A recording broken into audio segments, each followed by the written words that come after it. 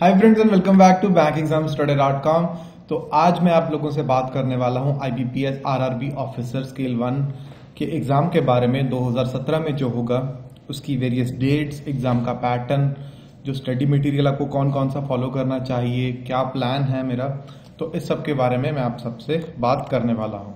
तो चलिए शुरू करते हैं। शुरू करने से पहले बता दूँ, मेरा नाम है रमनदीप सिंह एंड पिछले पाँच सालों से मैं बैंक एग्ज़ाम स्टडी पे काम कर रहा हूँ। एंड अभी तक अगर आपने चैनल को सब्सक्राइब नहीं किया तो पहले सब्सक्राइब का बटन दबा दें लाल रंग का। तो चलिए शुरू करते हैं। सबसे पहले एज रिक्वायरमेंट ये आप लोगों से क्लियर करनी बहुत ज़रूरी है। अगर मैं इंड में बताऊँगा तो जिनका एलिजिबिलिटी पूरा नहीं होता, वो फिर निराश हो जाते हैं। तो सबसे पहले कैंडिडेट की जो एज है, वो 18 से 28 के बीच में होनी चाहिए। नॉर्मली जो कट ऑफ़ की डेट होगी वो मेरे हिसाब से होगी एक जुलाई 2017 क्योंकि जिस महीने में नोटिफिकेशन आता है, उस महीने की पहली तारीख को जो कट ऑफ़ डेट मान लेते हैं। एज को कैलकुलेट करने के लिए।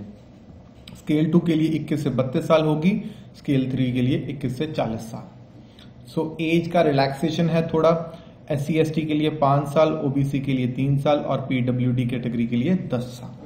तो ये बेसिकली एज का रिक्वायरमेंट है एक साल 2017 तक 18 से 28 साल। पहली चीज़ हो चुकी है। तो डेट्स के बारे में आपको थोड़ा सा बता दूँ। आईबीपीएस अगर आपको नहीं पता, अगर अभी तक आप इस आईबीपीएस के एग्ज़ाम सरकारी एग्ज़ाम्स नौकरियों के एग्ज़ाम के बारे में अवेयर नहीं है तो आपको बता दूँ, हर साल आईबीपीएस जो है, वो एक ऑर्गेनाइजेशन है। वो क्या करता है कि हर साल एक टेंटेटिव कैलेंडर निकालता है। कि ये डेट को मैं ये वाला एग्ज़ाम होगा, ये डेट को ये एग्ज़ाम होगा रिज़ल्ट इस तारीख को आएगा मेंस इस तारीख को होगा अलॉटमेंट इस तारीख को होगी। तारीख नहीं, कह लीजिए तकरीबन महीना बता देते हैं, महीने के किसी भी डेट में वो रिज़ल्ट भी निकालते हैं, पूरा रजिस्ट्रेशन का डेट उनका एक्यूरेट होता है। तो ये मैंने उनकी साइट से ही निकाला है ऑफिशियल वेबसाइट से निकाला है। जो स्टार्टिंग डेट ऑफ़ रजिस्ट्रेशन उन्होंने बोला है, वो बोला है जुलाई 2017 को जो है ऑनलाइन रजिस्ट्रेशन शुरू हो जाएगी, यानी कि अगले महीने रजिस्ट्रेशन शुरू होने वाली है।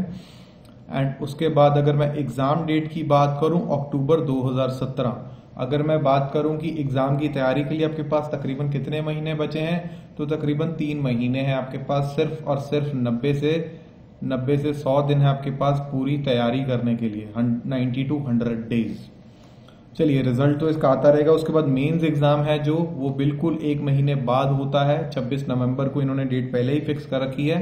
26 नवंबर 2017 को मेंस का एग्ज़ाम होगा। उसके बाद रिज़ल्ट आएगा, फिर इंटरव्यूज़ होंगी फेब में और अप्रैल में अलॉटमेंट हो जाएँगी। तो ये डेट्स आपको पता होनी ज़रूरी है आपको, ताकि आप अपना एग्ज़ाम की तैयारी का पूरा एक प्लान बना पाए।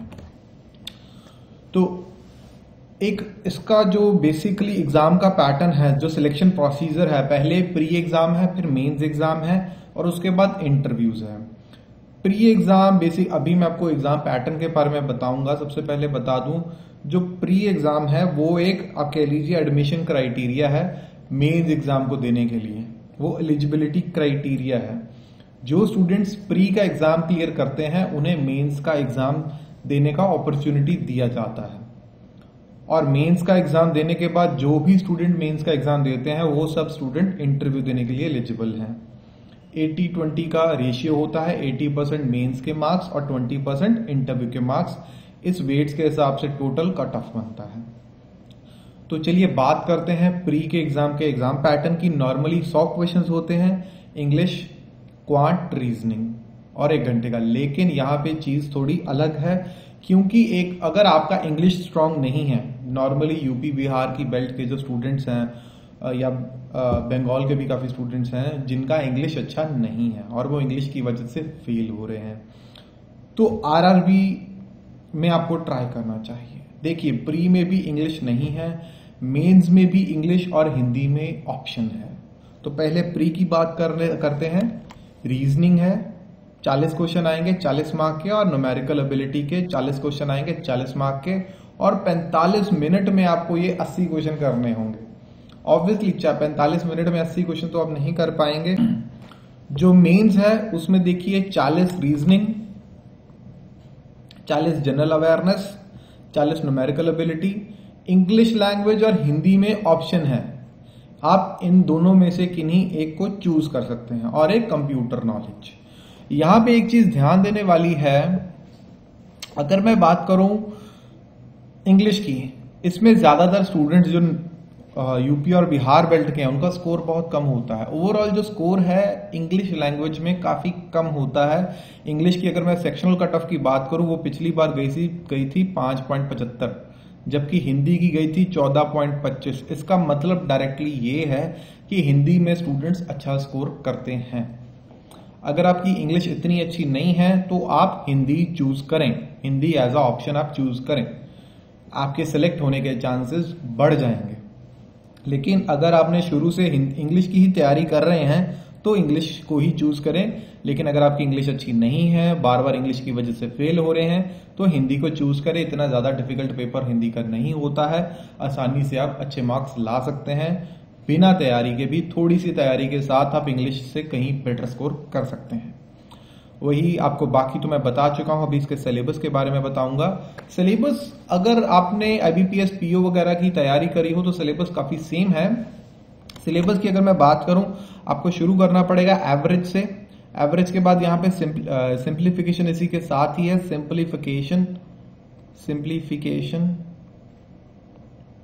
सिंप्लीफिकेशन का चैप्टर बहुत इंपॉर्टेंट है और अप्रोक्सीमेशन का एक चैप्टर है। ये भी बहुत इंपॉर्टेंट है। पाँच मार्क के क्वेश्चन इनमें से बिल्कुल आते ही आते हैं हर बार, पाँच से दस मार्क तक के। और जो प्री का पेपर है, उसमें तो ये दोनों चैप्टर में से सिंप्लीफिकेशन और अप्रोक्सीमेशन में से पाँच से पाँच मार्क तो आपके पक्के हैं।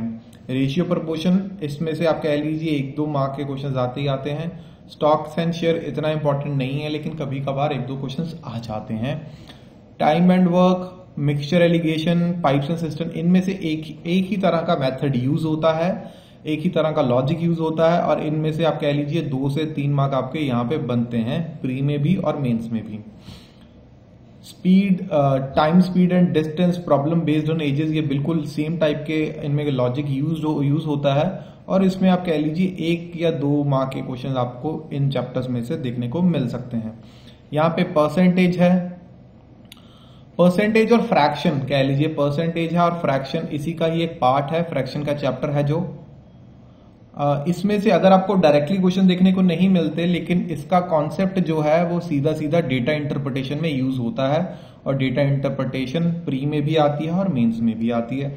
फिर भी कई बार डायरेक्ट इसमें से एक दो मार्क के क्वेश्चन आ जाते हैं, लेकिन इसका डीआई में बहुत ज़्यादा यूज़ होता है परसेंटेज के चैप्टर का इवन अप्रोक्सीमेशन के कॉन्सेप्ट का। पार्टनरशिप एक दो क्वेश्चन आते हैं, बहुत सिंपल क्वेश्चन आते हैं। क्लॉक्स में से कभी आते हैं, कभी नहीं आते हैं।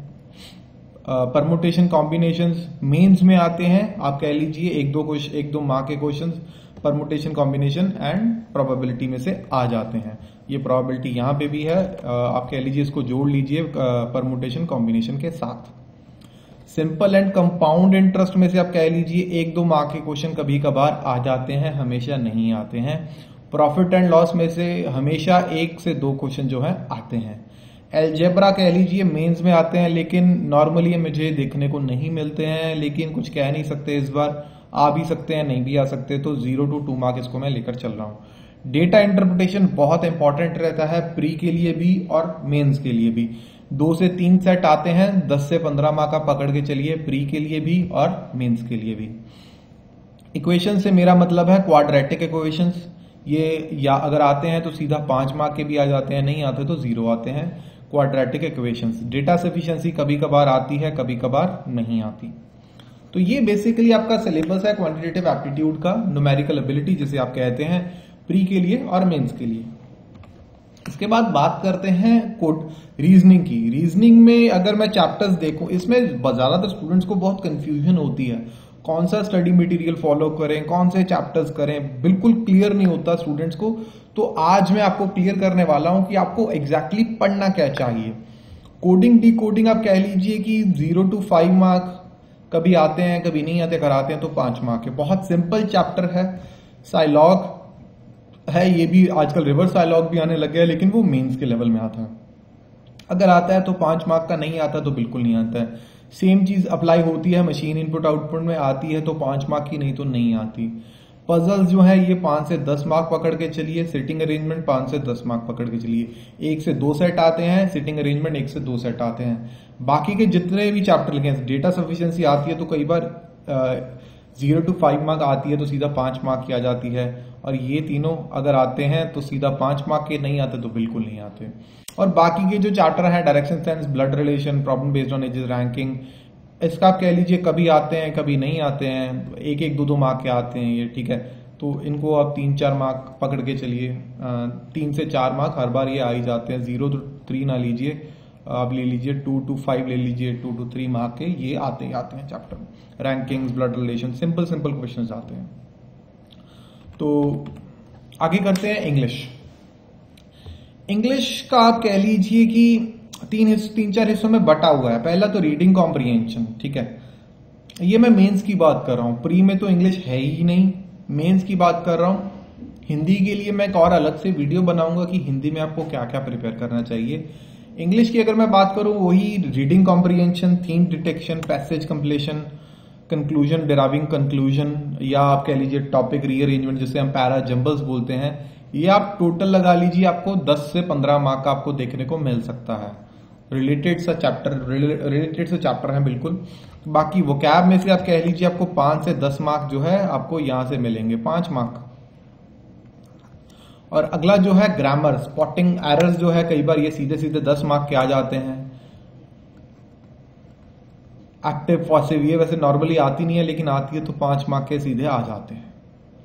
तो ये सीधा सीधा आप कह लीजिए, आपका सीधा सीधा सा सिलेबस है। रीडिंग कॉम्प्रिहेंशन कई बार दो दो भी आ जाती हैं। आप कह लीजिए सीधा रीडिंग कॉम्प्रिहेंशन दो आ गई। दस और पंद्रह मार्क का सीधा रीडिंग कॉम्प्रिहेंशन आ जाता है कई बार। थीम डिटेक्शन अलग से पाँच मार्क आ जाता है। पैरा कंप्लेशन कई बार आ जाता है। कई बार कह लीजिए पैरा जंबल्स अलग से आ जाते हैं। तो ये बहुत इंपॉर्टेंट टॉपिक्स हैं। इसके हम अलग अलग चैप्टर्स के हम वीडियोस बना रहे हैं। डेली वीडियोस अपलोड कर रहे हैं। प्लीज़ हमारा जो मेगा प्रिपरेशन कोर्स है, उसको फॉलो कीजिए यूट्यूब पे भी और हमारी एप्लीकेशन जीके डाइजेस्ट पे भी। तो जनरल अवेयरनेस की बात करता हूँ। जनरल अवेयरनेस बेसिकली तीन हिस्सों में बटा हुआ है। Static GK banking awareness and current affairs ये तीन हिस्सों में हमारा पूरे का पूरा जनरल अवेयरनेस जो है बटा हुआ है। स्टैटिक जीके में वही सिंपल से टॉपिक आते हैं कि वेरियस सिटीज़ इन इंडिया क्या क्या नाम पॉपुलर है रिवर्स इन इंडिया जो माउंटेन रेंजेस हैं कौन से शहर में क्या आ, मतलब किस चीज़ के लिए पॉपुलर है वीट सबसे ज़्यादा कहाँ होता है गन्ना कहाँ से ज़्यादा होता है। या म्यूजियम्स पॉपुलर म्यूजियम्स के बारे में पूछ सकते हैं रिलीजियस प्लेसेस उसके बारे में पूछ सकते हैं। तो बेसिक स्टैटिक जीके है। आप कह लीजिए वन कॉन्स्टिट्यूशन के बारे में थोड़ा बहुत पूछ सकते हैं। बेसिक बेसिक आप कह लीजिए स्टैटिक जीके जो चेंज ज़्यादा नहीं होता है तो इसके बारे में ज़्यादा पूछा जाता है। बैंकिंग अवेयरनेस बैंकिंग अवेयरनेस जो लेटेस्ट बैंकिंग के टॉपिक्स हैं, जिसके बारे में हम रेगुलरली चैनल पे भी डालते हैं और अपनी website bank exam study dot com पर हम रेगुलरली मंथली बैंकिंग अवेयरनेस का एक पीडीएफ भी बना के डालते हैं, उसको आप पढ़ते रहिए। तो बैंकिंग अवेयरनेस का जो रेगुलर आपका कैप्सूल है, वो बिल्कुल इसको फॉलो कीजिए और आपका कवर हो जाएगा। जीके डाइजेस्ट हमारी एंड्रॉयड एप्लीकेशन है, इसको सर्च करके इसको इंस्टॉल आप कर लीजिए तो आपका ये सारे का सारा जो है, वो कवर हो जाएगा। इसका एक ही बुक है, एक बाँध से आपके सारे निशाने लग जाएँगे। तो सारा कवर हो जाएगा। Current affairs daily current affairs हम यहाँ पे जीके डाइजेस्ट पे अपडेट करते हैं। डेली भी अपडेट करते हैं वीकली पीडीएफ भी देते हैं और मंथली पीडीएफ भी देते हैं और डेली क्विजेस भी होते हैं। तो जनरल अवेयरनेस के लिए और ज़्यादा कुछ नहीं कहूँगा और हम ऑलरेडी डेली बहुत सारा काम कर रहे हैं इस पे जनरल अवेयरनेस पे। तो जीके डाइजेस्ट हमारी एप्लीकेशन है, इसको इंस्टॉल कर लें तो आपका सारे का सारा जनरल अवेयरनेस कवर हो जाएगा। कंप्यूटर नॉलेज की बात करता हूँ। ज़्यादातर स्टूडेंट्स को कंप्यूटर नॉलेज का जो सिलेबस है वो भी क्लियर नहीं होता है। बहुत आसान सा पेपर होता है ये। बेसिक कंप्यूटर हार्डवेयर सॉफ्टवेयर के बारे में पूछा जाता है कि क्या डिफरेंट डिफरेंट डिवाइसेस होती हैं। लेकिन आजकल थोड़ा पेपर डिफ़िकल्ट आने लग गया है। तो basic functionality of M S office जो वेरियस आप कह लीजिए शॉर्टकट्स वगैरह हैं, या वेरियस फ़ंक्शंस हैं एम एस ऑफ़िस के, उसके बारे में भी एक दो क्वेश्चन आ जाते हैं। जो आजकल हैकिंग वगैरह बहुत पॉपुलर हो रखी है रैंसमवेयर क्या होता है वायरस क्या होता है वायरस और वॉर्म में क्या डिफरेंस है, ये बेसिक बेसिक इसमें से दो तीन क्वेश्चन आपको देखने को मिल सकते हैं। डेटा ज़्यादातर स्टूडेंट्स नहीं करते हैं, लेकिन इसमें से दो तीन क्वेश्चन आपको हर साल देखने को मिलते हैं। डीबीएमएस क्या होता है आर क्या होता है तो ये सब इसमें से दो तीन क्वेश्चन आपको देखने को मिल सकते हैं। Networks and communication network topologies क्या होती हैं बसेस क्या होता है? तो basic basic network and communication के इसके मैंने नोट्स ऑलरेडी बनाए हुए हैं। इसमें से आप कह लीजिए पाँच, छह मार्क का इसमें से आ जाता है। हिस्ट्री ऑफ़ कंप्यूटर्स इसमें कभी कभार आता है कभी कभार नहीं आता है। तो इंटरनेट की टर्म्स एंड सर्विसेज़ जो लेटेस्ट ट्रेंडिंग में होता है, जो ट्रेंड कर रहा होता है इंटरनेट पे, उसके बारे में दो तीन सवाल पूछ लिए जाते हैं। एक बार तो ये भी पूछ लिया गया था कि एंड्रॉयड है क्या? मोबाइल ऑपरेटिंग सिस्टम है ऑपरेट क्या है ये? तो एक सॉफ्टवेयर है तो ये भी एक क्वेश्चन आया था आज से दो साल पहले। बहुत बेसिक से पूछे जाते हैं और फिर विंडो के ऑपरेटिंग सिस्टम के बारे में थोड़ा सा पूछ लिया जाता है। उसके वेरियस जो कह लीजिए कि कंट्रोल पैनल कहाँ होता है मतलब अलग अलग टूल्स के बारे में पूछ लिया जाता है।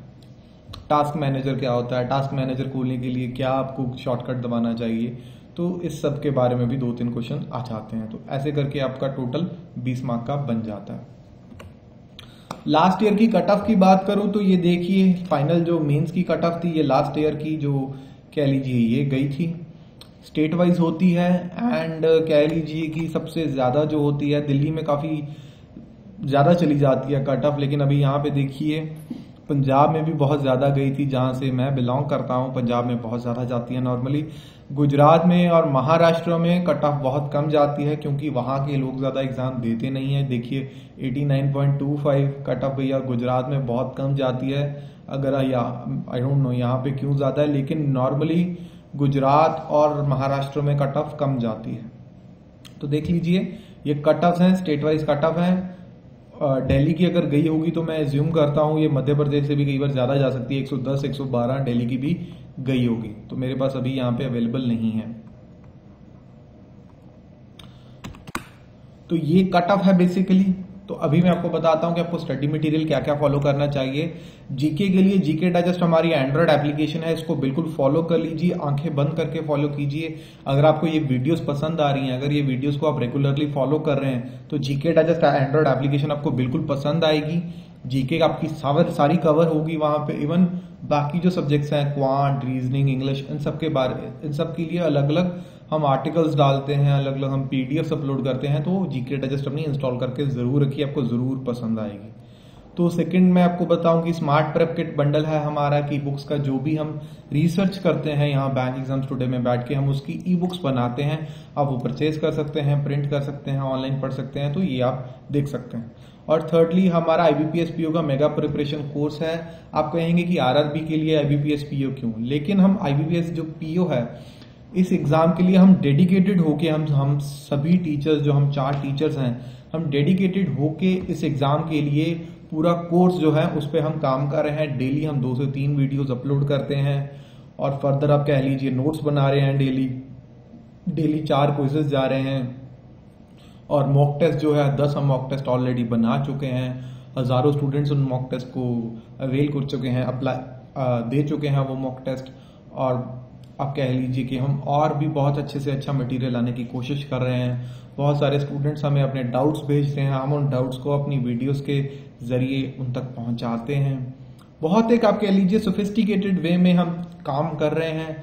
Videos PDF quizzes mock test सब कुछ एक अच्छे तरीके से चल रहा है। ये एक ट्रेडिशनल कोचिंग इंस्टीट्यूट की तरह नहीं चल रहे। हम एक प्रॉपर वे में चल रहे हैं कि रोज रात को नौ बजे के तकरीबन हमारी क्लास होती है। एंड फिर आप कह लीजिए, एक दिन के अंदर अंदर आपको, दो दिन के अंदर अंदर आपको डाउट भेजने होते हैं। फिर हम वो डाउट क्लियर करने के लिए वीडियोस बनाते हैं या मैसेज के ज़रिए आपको रिप्लाई करते हैं। तो ज्वाइन कीजिए आईबीपीएस पीओ मेगा प्रिपरेशन जो कोर्स है, इसका लिंक भी आपको नीचे डिस्क्रिप्शन में मिल जाएगा। अगर आपकी कोई डाउट या प्रॉब्लम है, ये आप हमारा क्या कीजिए ये मेरा नंबर है। आप कॉल कर सकते हैं यहाँ पे कभी भी, ठीक है?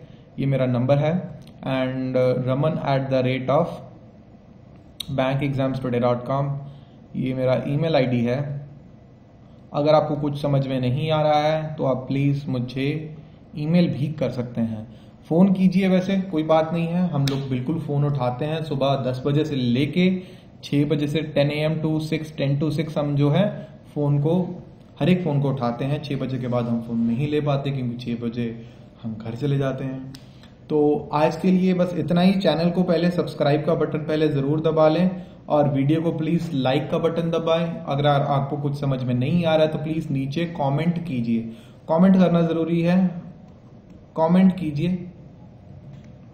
अगर आपको नीचे कुछ, यहाँ पे कुछ समझ नहीं आया तो नीचे कमेंट कीजिए। अगर आपका कोई भी डाउट है, आपको एलिजिबिलिटी के बारे में या स्टडी मटेरियल के बारे में या एग्ज़ाम पैटर्न के बारे में या अगर आपको नहीं समझ आ रहा है कहाँ से स्टार्ट करें तो नीचे कमेंट कीजिए। कमेंट से मुझे बहुत इंस्पिरेशन मिलती है कि मैं आगे क्या करूँ। आप जैसे जैसे कमेंट करते हैं, वैसे मेरा एक शेड्यूल तो है कि मैं आज ये वीडियो बनाऊँगा, कल ये बनाऊँगा, परसों ये बनाऊँगा।